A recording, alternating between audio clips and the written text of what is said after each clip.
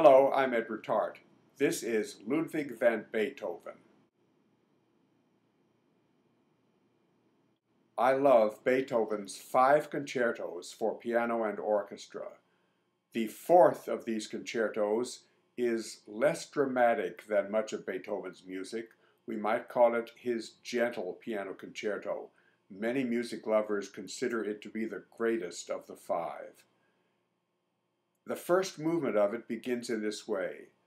The pianist takes a few seconds to play a musical phrase.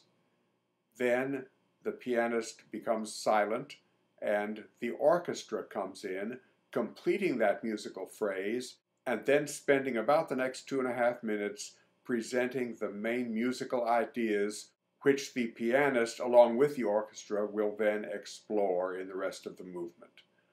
So I'm going to play for you an unusual piano cover. That first phrase of the pianist, followed by my cover of the orchestral introduction of the first movement of Beethoven's Piano Concerto Number no. 4.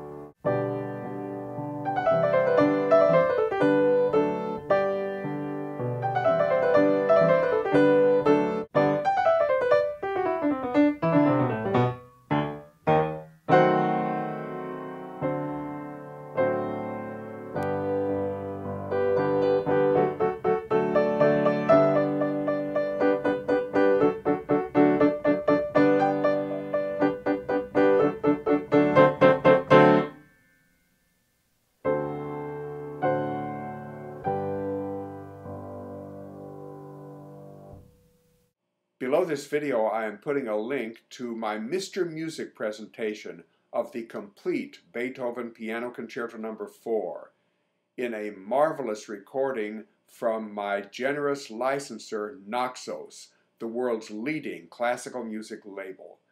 Thank you for watching and listening.